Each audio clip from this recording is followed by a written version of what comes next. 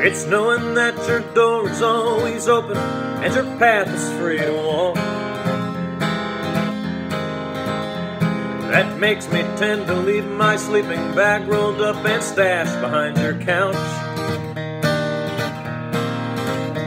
And it's knowing I'm not shackled by forgotten words and bonds and the ink stains that are dried upon some line. That keeps you in the back roads by the rivers of my memory. That keeps you ever gentle on my mind. It's not clinging to the rocks and ivy planted on their columns now that bind me. Or something that somebody said because they thought we fit together walking.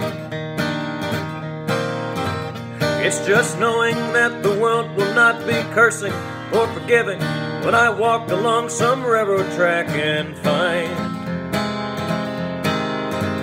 that you're moving on the back roads by the rivers of my memory, and for hours you're just gentle on my mind.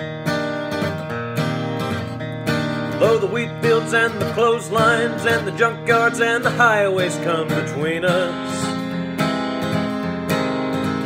And some other woman's crying to her mother cause she turned and I was gone. I still might run in silence, tears of joy might stain my face, and the summer sun might burn me till I'm blind. But not to where I cannot see you walking on the back roads by the rivers flowing gentle on my I dip my cup of soup back from a gurgling, crackling cauldron in some train yard. My beard roughening coat pile and a dirty hat pulled low across my face.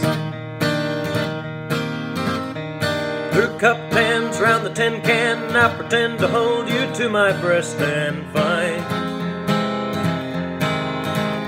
that you're waving from the back roads by the rivers of my memories, ever smiling, ever gentle on my mind.